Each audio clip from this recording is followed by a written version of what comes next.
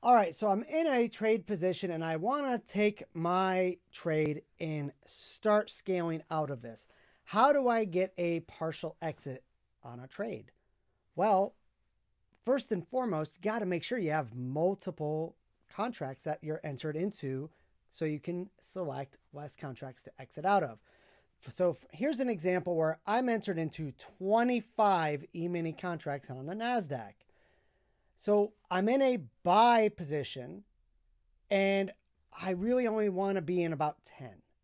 So that means I need to subtract 15 orders from this trade. How do I do that?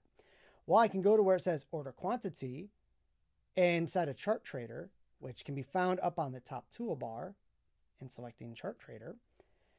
And then what I can do is say 15 contracts. And since I'm in a buy trade, I can select 15 and select sell. Order filled. And that leaves only 10 remaining contracts going in a bullish or long position. So I effectively closed out of 15 contracts with 10 remaining and taking a partial exit from that trade. So now let me close out of all the remaining trades. I'm going to go ahead and select that back to 10. So that gets here and click Order sell. filled. So this way I'm out of this position. Could that work for a sell trade? Yes, it can. So for a sell trade, let's say I want to do 10 contracts.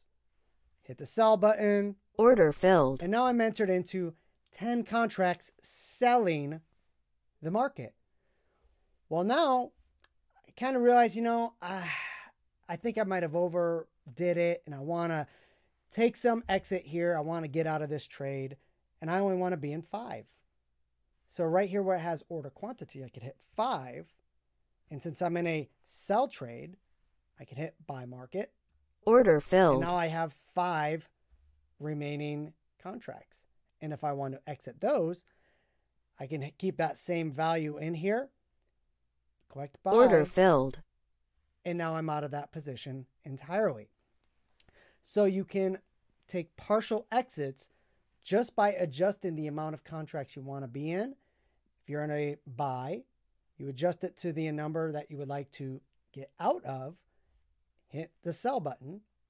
And if you're in a sell, you adjust it to the number that you would like it to be, and then hit the buy button.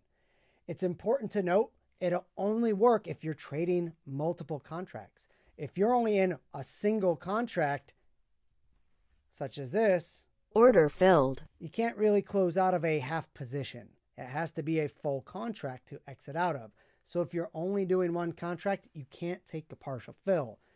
What you can do though is move your stop loss to a location that you deem acceptable. And this way, if the market does go against, it'll move your stop loss to wherever you place it and protect some profits.